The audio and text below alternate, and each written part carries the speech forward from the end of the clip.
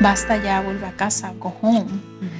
Pero le pregunté, ¿dónde es mi lugar? Like, ¿dónde una mujer como yo, que según enfrente de las cámaras lo tiene todo, es feliz, su familia le da dinero, Jenny ya es famosa, Lupillo ya era súper famoso, eh, teníamos dinero, teníamos todo, pero yo no era feliz. I felt like I, I was living two lives, sonriendo ante las cámaras, pero destrozada por dentro. I mean, gosh, by this time ya había usado muchas drogas, mucho alcohol, había tenido un aborto eh, y me había acostado con muchos hombres y con unas mujeres, you know? So dije, ¿dónde puedo ir donde alguien me pueda aceptar?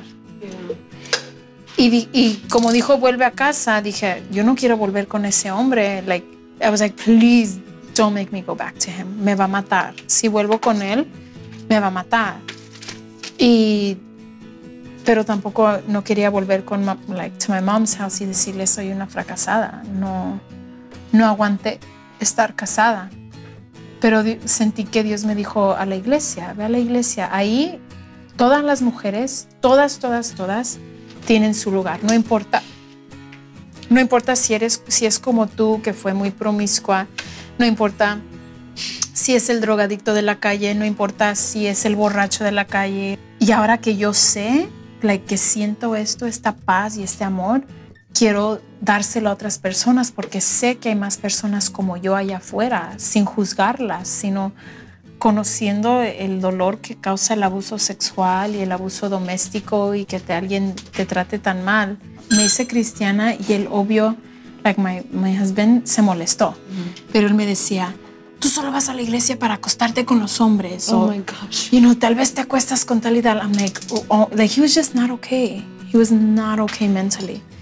Y dije, ok, ya me, ya me quiero divorciar. Sentí que, que estaba bien con Dios porque me estaba abusando. Y Dios no te va a tener ahí en una relación abusiva. Le rogué que nos divorciáramos y no quería. Y fuimos al mismo lugar donde nos casamos, pero esta vez duramos como dos horas allá afuera, él llorando y diciendo, voy a cambiar, ya no te voy a pegar, ya no te voy a hacer esto, ya no te voy a decir nombres. Pero yo le dije, ¿me dejas ir a la iglesia en paz? You like, ¿me dejas seguir a Dios? Él me ayuda. Y él dijo que no. Dijo, no, no te voy a dejar ir. Entonces dije de no. No creo que quiso dañarme. Tal vez algo le pasó, know? Extraño hablar con él y ya no le digo a Abel, obviously, because ahora Abel es mi mejor amigo, but estoy segura que entiendes. Has tenido amigas o amigos Yeah. que you just miss them. You know, he's a good guy. No lo odio. Es- He's a really good guy and I miss him.